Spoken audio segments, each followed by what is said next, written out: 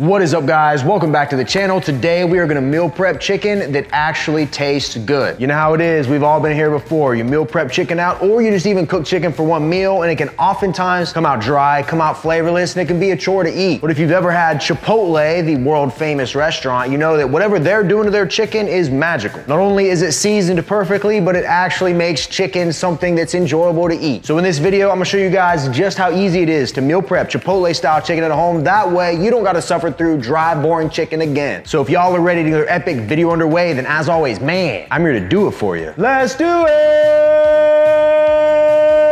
Yeah!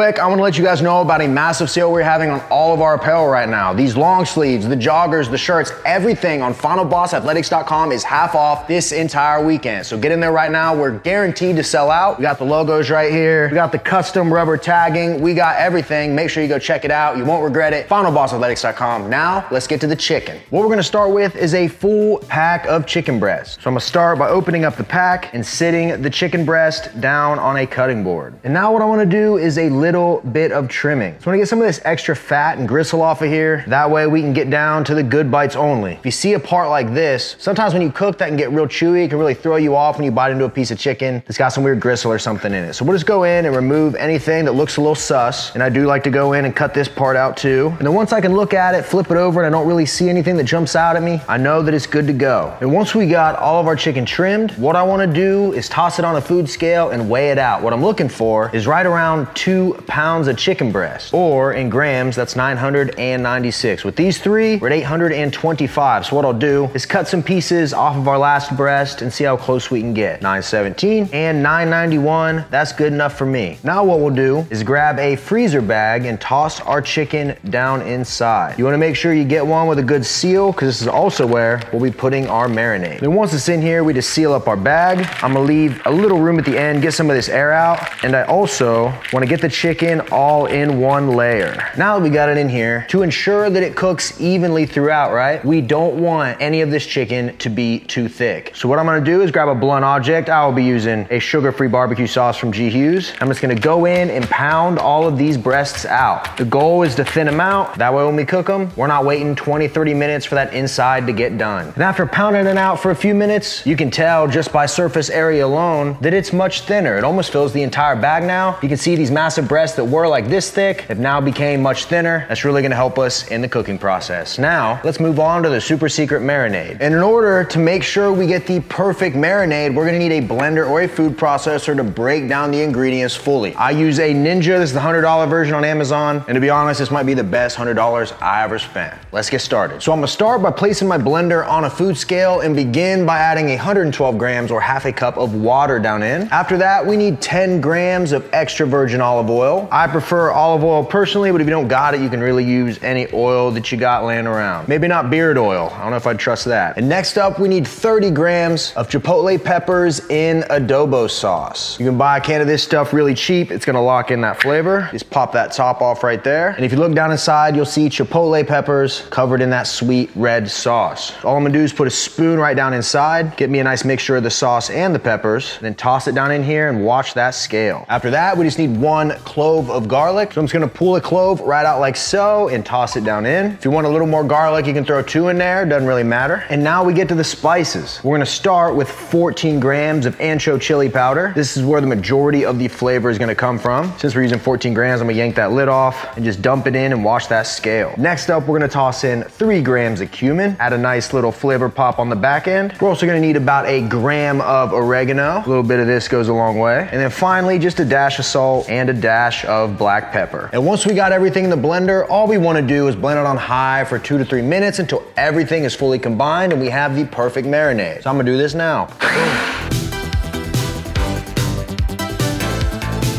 And once this is blended up, all I'm gonna do is open up my chicken bag, take the marinade, and pour it down inside. If you got a good blender, you shouldn't be able to see chunks of anything in here. And then to make sure we get all that marinade, I'm gonna use a spoon, go down in the blender, and make sure I get any extras and put it down in here. The more marinade we got, the more flavor. And then once we got all our marinade in there, I'm gonna seal up the bag, but leave a little room at the end for air. I'm gonna lay the bag down, kind of get some of that air out, seal it up. And now I just wanna go in and move this chicken around and make sure all of it gets fully coated in our marinade. And once we got our chicken fully coated and looking good, it is time to let it rest for a little bit. What we wanna do is at a minimum, put this in the fridge for 30 minutes. It's gonna let that chicken really soak up all that flavor and make sure we get the most out of this recipe. But really, if you want optimal results, you can let this soak for a few hours, let it do its thing overnight. But as long as you give it 30 minutes, you'll be just fine. So I'm gonna open up my fridge and place it right in here to marinate. And if you like the idea of making foods at home that are not only delicious, but are gonna help you hit your diet, don't forget I have a cookbook available at the first link in the description. The RJF Anabolic Cookbook. We got desserts in here, we got lunches, we got dinners, we got literally everything you need to take control of your diet. I always tell people that no matter how hard you're working out, you really can't outwork a bad diet. But a diet that you actually enjoy is the one you're gonna stick to long term. So check out my cookbook if you haven't already. It's got this recipe in there along with every other recipe on the channel, and it automatically updates. Every time I drop a new video, the book gets updated and you get all the recipes added for free. So check it out. And when I get back, ladies and gentlemen, it'll be time to cook this chicken. Let's go.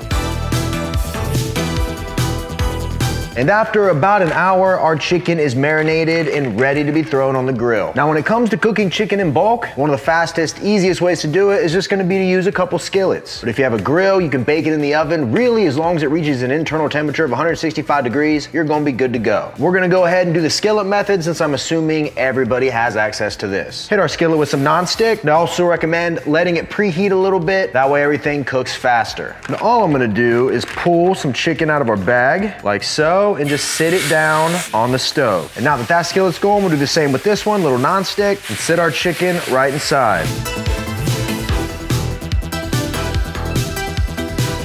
I'm gonna escape into here to get some better audio. That way you guys aren't annoyed by the food cooking. But basically what we wanna do at this point is just let the chicken cook. I like to set the heat to a medium high. That's gonna really heat it up. It's gonna cook it quick since we pounded it out. All of our chicken should cook pretty evenly. And basically what I'll do is let it cook for six to seven minutes on that first side. I'll flip it over, probably give it another six to seven minutes. And once I think it's done, I'm gonna temperature check it with an instant read thermometer, make sure it hits 165 degrees. And once it's there, you'll know we're good to go. So that's the methodology. Anyways, let's get back to this chicken.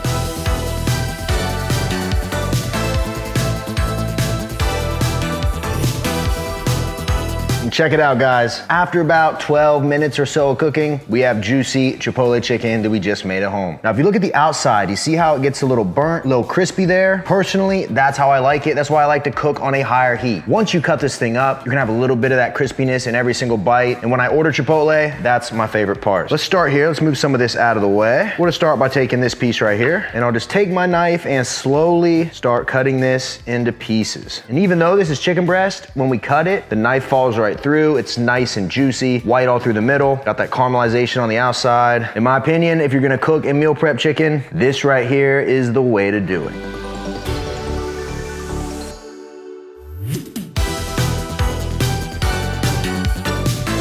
And after we cut it all up, we are left with a pile of Chipotle style chicken that you can now toss into Tupperware containers and add to your meals all week long. Keep in mind, we have two pounds of chicken right here. So for some people watching, you might want more, you might want less. So all I'm gonna tell you is this. If you wanna double this recipe up, just double all the ingredients in the marinade and the amount of chicken, you're gonna be good to go. If you only want half of this, just take all the ingredients and cut them in half. Just follow all the steps I laid out, do those calculations, and you will be just fine. And when it comes to what pairs well with these meals, if you wanna keep it stupid simple, all you really have to do is buy some of these steam fresh veggie packs, toss it in the microwave for a few minutes. This one's asparagus. You can even add some brown rice and boom, you combine these in with your Tupperware, in with the amount of chicken you want, and you got yourself an easy, delicious meal. And this wouldn't be an RJF video if I didn't try a little bit for you. So let's get in here. Let me find a good piece, man. This one looks the most Chipotle-like to me. Little caramelization on it, cut about the same, fits the bill. See what we got here. Mm. That outside is a little crunchy. You get that chipotle flavor infused inside.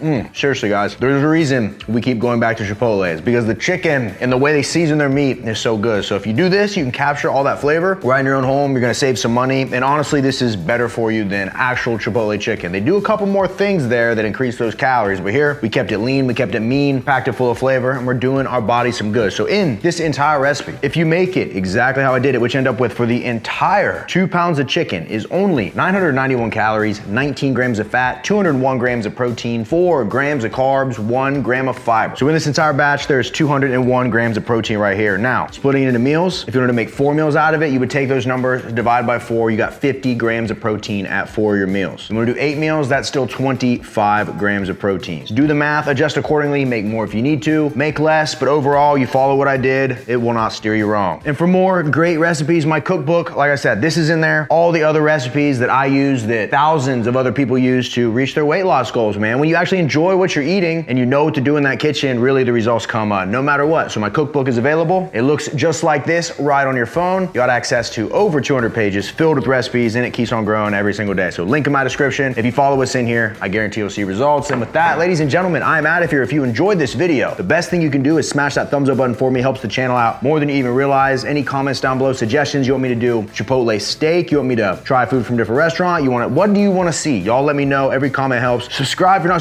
subscribed. We got tons of videos on the channel and more coming. And with that, ladies and gentlemen, we are out of here. Appreciate you guys as always. And until next time, ladies and gentlemen, I'll see each and every one of you at the next video. See you guys. Bam, bam, bam. And don't forget, we got the apparel launch live right now. FinalBossAthletics.com, half off everything. See you guys.